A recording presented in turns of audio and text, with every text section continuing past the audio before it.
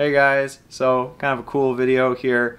Um, I'm not a big fan of kind of busts and whatnot, but I saw this at Toy Traders a while ago. I've been trading in stuff for it, and today I got it.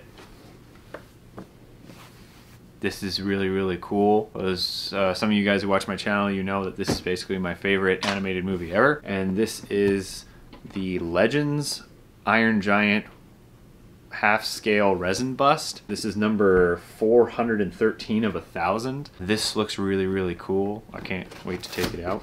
There's this authentication thing of a biggie, apparently. No, I'm about to commit a crime. I know you're not supposed to do it like this, but Crime's your face! thanks, Brand. Ooh. There it is. Let's see, how do you... I just don't want to knock Hogarth off. Gotta take him out and all of a sudden, ding! Oh, he's got the little dent in his head.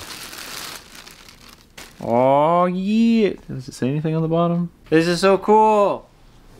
This is awesome. The little Hogarth right up here. He's got the dent in his head. The detail's really crisp. I love this. This is really cool. I'm not a big fan of the again of these usually, but I really, really wanted this when I saw it, and I'm really this is awesome. I can't wait to put this on the wall. I actually like that it's small too. It's not like a big thing. It's not that big. I can't wait to put it on the wall. This is gonna be cool.